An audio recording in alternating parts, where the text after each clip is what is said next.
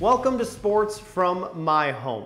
Organized sports have taken a back seat the past few weeks, but locally, coaches and athletes continue to put the work in. And as KSBY sports reporter Rob Schiff tells us, one specific coach is taking a different approach.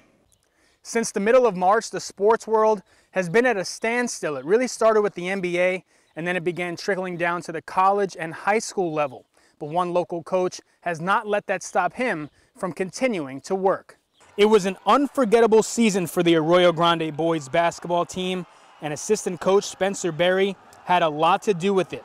But just because the sports world is sort of on hold for now, doesn't mean that Berry is. When he's not coaching the Eagles, Berry is helping other kids on the Central Coast continue to perfect their craft.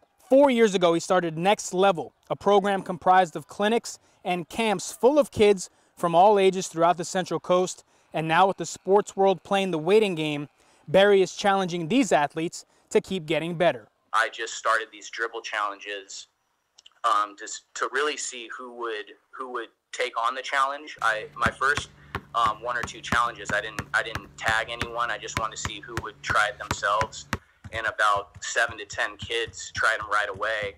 And since then, athletes continue to accept the challenge on social media, players from up and down the coast showing just how hungry they really are. You know, if I'm going out there as a coach and making sure I'm doing it, then it's going to motivate these kids to do it. As soon as you go a few days without, you know, working on your game, you're almost at square one all over again. Um, so I wanted to make sure that not just the players I coach, but all athletes in the area are just staying on top of their game in any way they can. Berry says he's always thinking of ways to keep improving, and he hopes his athletes take advantage of all this downtime. Hopefully, you know, these drills, these challenges are are motivating kids to just go outside and, and work on their craft and just keep getting better and better. So when the season gets back to normal, when it when it continues, um, kids can, you know, be that much more prepared for when the season gets back.